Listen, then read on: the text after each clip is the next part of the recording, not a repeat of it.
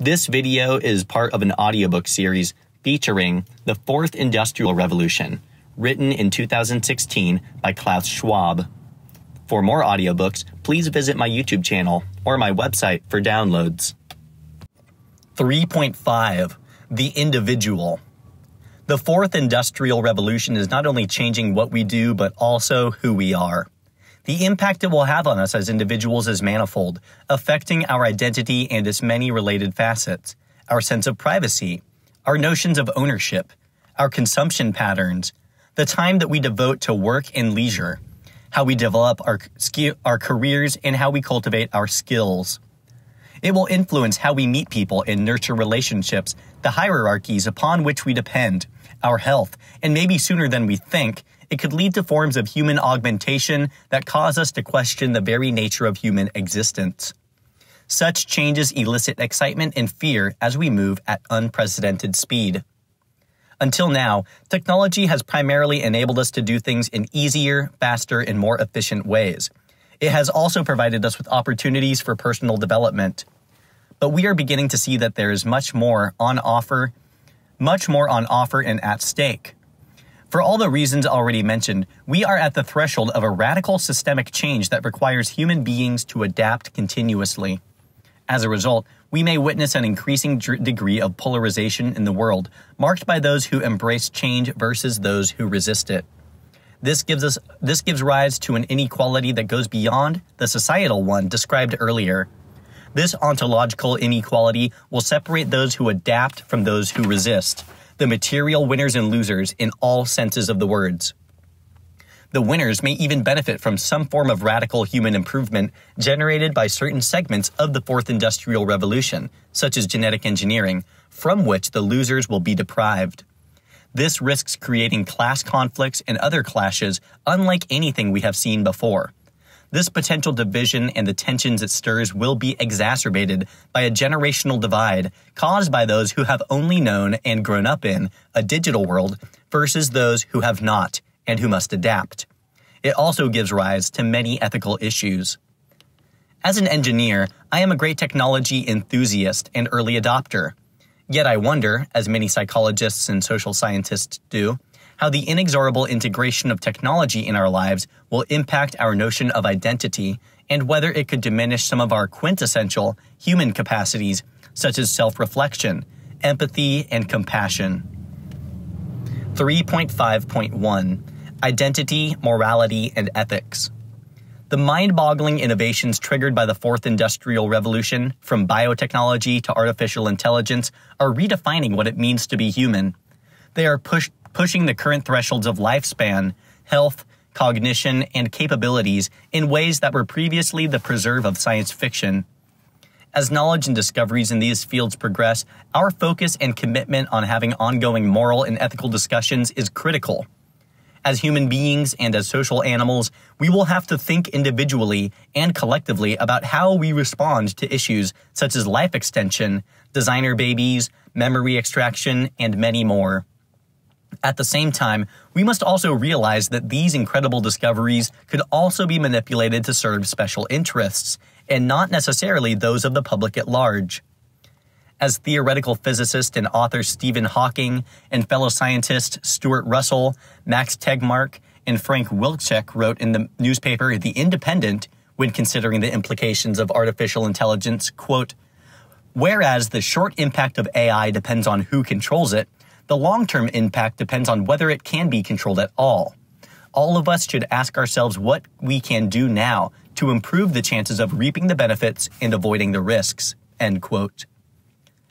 One interesting development in this area is OpenAI, a nonprofit artificial intelligence research company announced in December of 2015 with the goal to, quote, advance digital intelligence in the way that is most likely to benefit humanity as a whole, unconstrained by a need to generate financial return, end quote. The initiative, chaired by Sam Altman, president of Y Combinator, and Elon Musk, CEO of Tesla Motors, has secured $1 billion in committed funding. This, this initiative underscores a key point made earlier, namely, that one of the biggest impacts of the fourth industrial revolution is the empowering potential catalyzed by a fusion of new technologies Here, as Sam Altman stated, quote, the best way which AI can develop is if it's about individual empowerment and making humans better and made freely available to everyone. End quote.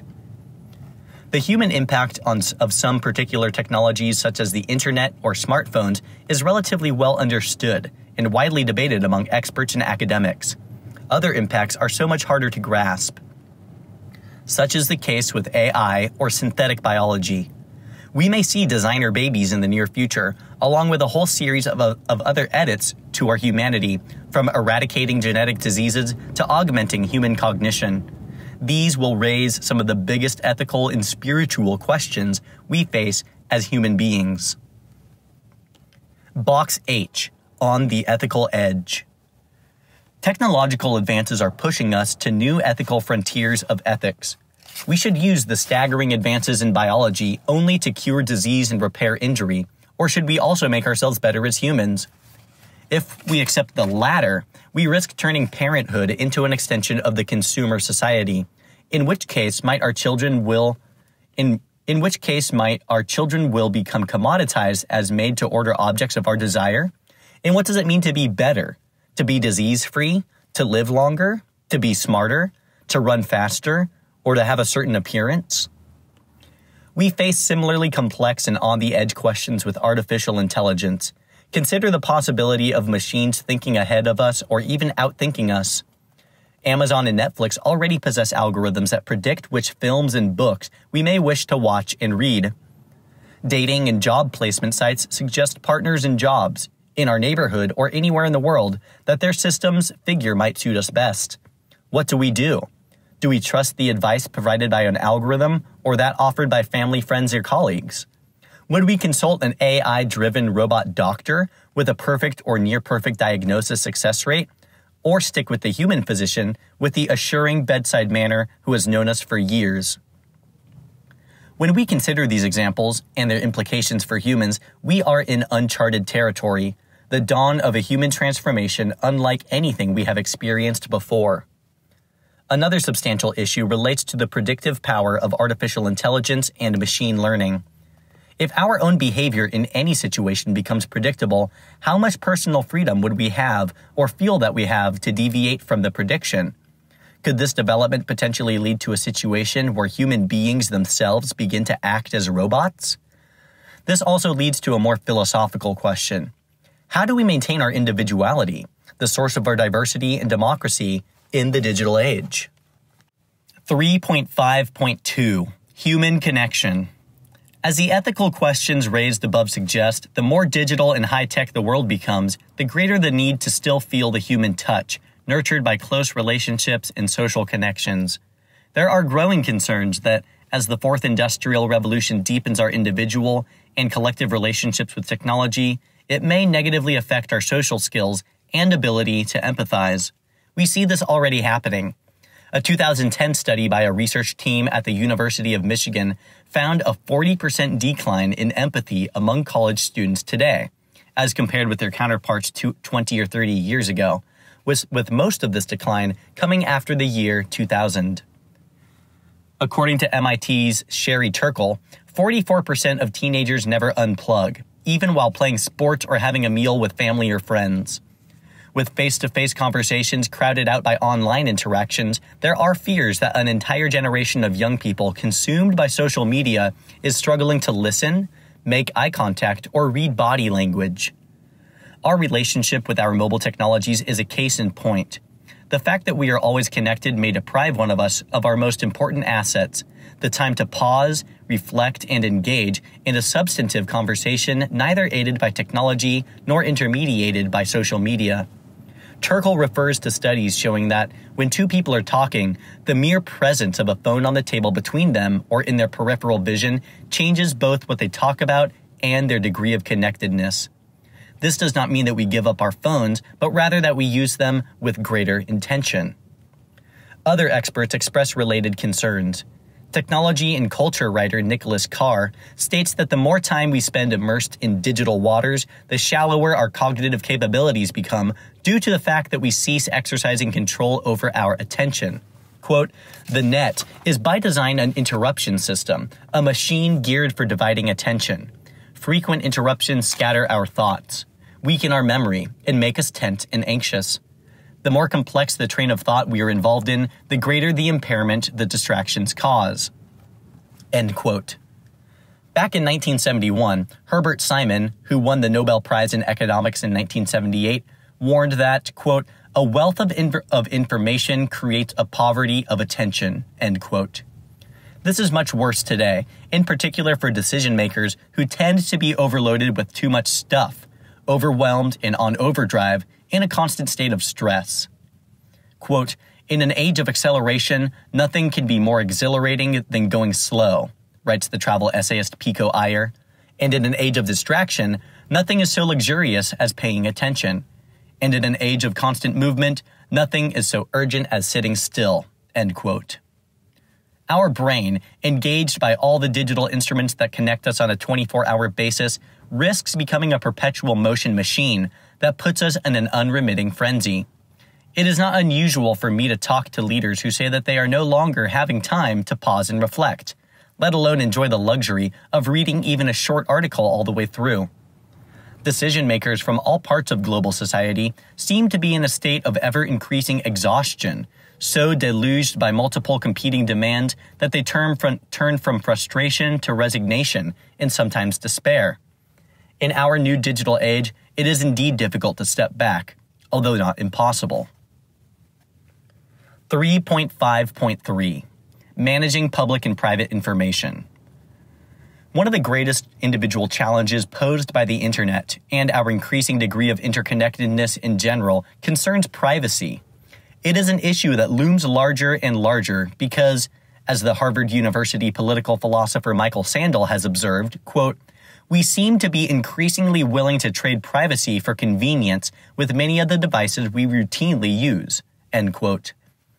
Spurred in part by the revelations of Edward Snowden, the global debate about the meaning of privacy in a world of greater transparency has only just begun, as we see how the internet can be an unprecedented tool of liberation and democratization, and at the same time, an enabler of indiscriminate, far reaching, and almost unfathomable mass surveillance. So, why does privacy matter so much? We all instinctively understand why privacy is so essential for our individual self. Even for those who claim that they do not particularly value privacy and have nothing to hide, there are all sorts of things said and done that we may not want anyone else to know about. There is abundant research showing that when someone knows he is being watched, his behavior becomes more conformist and compliant. This book, however, is not the place to engage in a lengthy reflection about the meaning of privacy or to respond to questions about data ownership. I fully expect, however, that a debate about many fundamental issues, such as the impact on our inner lives, stemming from the loss of control over our data, will only intensify in the years ahead. Box I Wellness and the Bounds of Privacy. What is currently happening with wellness wearable devices provides a sense of complexity of the privacy issue. An increasing number of insurance companies are considering making this an offer to their policyholders. If you wear a device that monitors your wellness, such as how much you sleep and exercise, the number of steps you take each day, the number and type of calories you eat, etc., and if you agree that this information can be sent to your health insurance provider, we will offer you a discount on your premium. Is this a development we should welcome because it motivates us to live healthier lives? Or is it a worrisome way toward a life, a way of life where surveillance from government and private industry alike becomes ever more intrusive? For the moment, this example refers to an individual choice, the decision to accept wearing a wellness device or not. By pushing this farther, let us assume that it is now the employer that directs each of its staff to wear a device that reports health data to the insurer because the company wants to improve productivity and possibly to decrease its health insurance costs. What if the company requires reluctant employees to abide or else pay a fine? What previously seemed like a conscious individual choice, wearing a device or not, becomes a matter of conforming to new social norms that one may deem unacceptable. These issues are increasingly complex. We are just starting to get a sense of their possible psychological, moral, and social implications. On a personal level, I foresee the following problem relating to privacy. When, when one's life becomes fully transparent, and when indiscretions, big or small, become knowable to all, who will have the courage to assume top leadership responsibilities? The fourth industrial revolution renders technology an all pervasive and predominant part of our individual lives, and yet we are only just starting to understand how this technological sea change will affect our inner selves. Ultimately, it is incumbent upon each of us to guarantee we are served, not enslaved, by technology. At a collective level, we must also ensure that the challenges technology throws at us are properly understood and analyzed.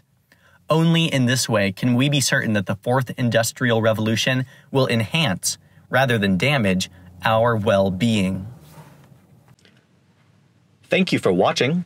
Please like, subscribe, and visit my channel for more exciting content.